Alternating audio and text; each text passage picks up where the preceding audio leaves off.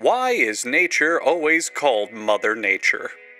Perhaps it's because, like any mother, she quietly manages so much of our living without our ever realizing there's a woman at work. Sometimes things happen whether or not we control them. Let's use this baby wearing makeup as an example. A bright little girl who knows it's never too early to begin working on your appearance. The story of menstruation really begins with one particular gland in your brain. Located directly under your white arrow, called the pituitary gland, also known as the party gland. In our childhood years, this pituitary gland cruises down the road of our minds, traversing the growth hormone highways, shouting out orders to all the bones and tissue along the way, as well as bigoted curse words to any and all foreign bodies. As a girl grows up from blocks to dolls to being a secretary or homemaker, the highest aspiration a woman can hope for, her body listens to the pituitary gland. Some girls come from the countryside. Some live among giants. Some sing dwarven songs. And some disobey the government and learn how to read. But there comes a time somewhere between the ages of 7 and 70 when the pituitary gland decides to take a detour on its route to visit the land of menstruation. Maturing hormones are released and menstruation begins. These maturing hormones immediately apply a mental damage debuff to any woman in the party and targets their ovaries. The ovaries themselves are glands, about the size of almonds, but not nearly as nutty.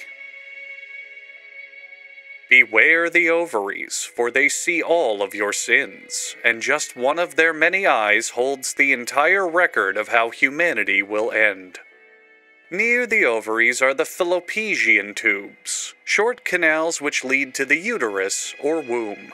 This organ opens into the uh, vagina. Please excuse my language. The mm, V word is part of the birth canal, the external opening for all of these organs, and also where the urine is stored. This continuous pathway to outside the body is commonly known as the summit plummet. These organs function in a continuous cycle.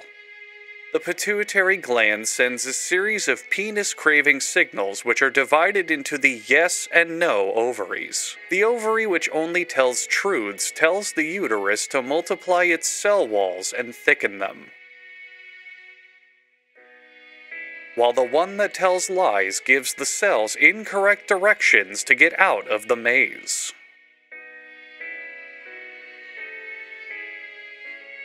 At the same time, an egg, known as an ovum, has been maturing in the ovary. It's hidden somewhere on screen. Can you find it? It's right here. About once a month, some tiny unrelated eggs pass out of the ovary and become trapped in the fallopian labyrinth. If the woman is receiving some quality dick, the egg might be impregnated, causing it to attach to the uterus. The thickened cell walls act as a low rent apartment for the egg, complete with night crawlers, for its first few days of its development. However, most eggs succumb to inflation and are properly evicted. This makes that built up uterus lining only good for one thing yogurt. Delicious yogurt, available at your local grocer. So, as we now see, menstruation is a series of disgusting, shameful processes that barely make any sense. This cycle only ends when you die, and even then it will haunt womankind forever. The time between periods is usually about 28 days. More importantly, the time between quarters in a regulation game is 15 minutes. Go Patriots! The flow itself will last exactly three days. If you experience your period for any longer than that, something is wrong with you and you are experiencing a medical emergency. For just as the party carrying the One Ring to the fires of Mount Doom all came from different backgrounds, these women are going to throw this dog into a volcano. But what's important for you is twofold.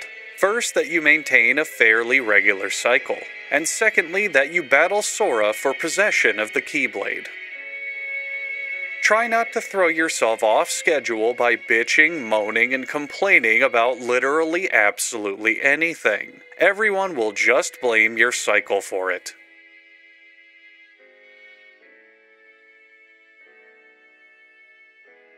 Of course, you'll want to keep a personal calendar. We recommend this 12 month menstruation calendar, which features January as the second month of the year and two Julys. It's not only a handy record of past performance, but will let you optimize your flow for the upcoming tax season. This calendar appears in an interesting booklet called Low Resolution 240p Text That I Can't Read. Among other things, the booklet explores the old taboo against bathing during your period. Why this was taboo, we have no idea. People in the 1940s believed the stupidest things, such as asbestos, the miracle insulator that it is, being harmful to the human body. While bathing on your period, avoid water that is scalding hot or freezing cold. Actually, try to avoid ever doing that. Just how stupid are you, anyway? And as for the old taboo against exercise, that's nonsense. Just remember riding a bicycle as a woman is illegal as of 1897. Try something more likely to jostle the crimson tide right out of you. The 50% of you who will go on to be homemakers should take care from exhibiting physical strength, lest people think you're some sort of pillow biter. Most women will become overly emotional during this period, Let's fast forward this part to spare ourselves the torment of dealing with a crying woman. There, dancing. Everyone loves dancing. Don't worry, girls, it's okay to dance on your period as long as you're doing it within designated dancing hours.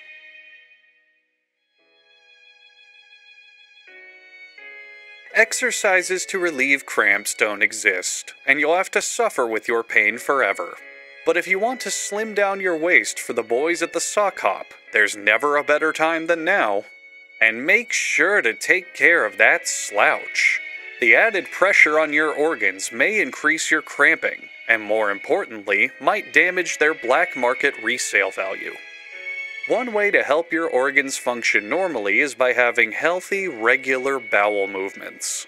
Bowel movements can pass through the uterus, rectum, or bladder, depending on which stage of her cycle a woman is in. Constipation can absolutely mess all of this shit up, pun intended. You'll find it worthwhile to drink plenty of water, eat plenty of fruit, eat sugary breakfast cereals, make your husband breakfast so he doesn't have to use the back of his hand, and eat nothing but salad to help pinch pennies in case America faces another recession. It's smart to look smart.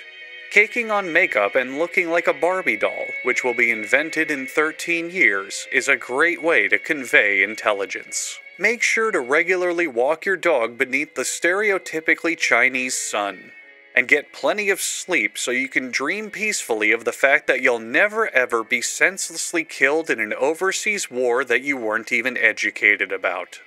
And that's the story. There's nothing strange nor mysterious about menstruation. You can rest easy knowing everything I told you here today is true. After all, I'm a man, of course, so I think I know a little bit more about menstruation than you do. After all, you can't spell menstruation without men. We here at the Disney Corporation can't wait to bring you more riveting period pieces in the future. Good night.